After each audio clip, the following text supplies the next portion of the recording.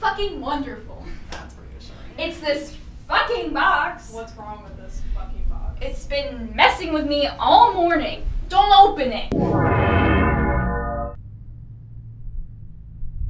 What the fuck? I told you not to open it. So let's not touch it, okay?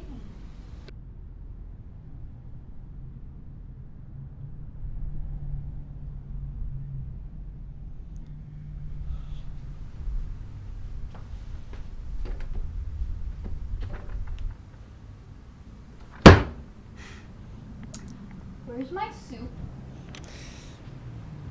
Probably in my stomach. What? I ate soup.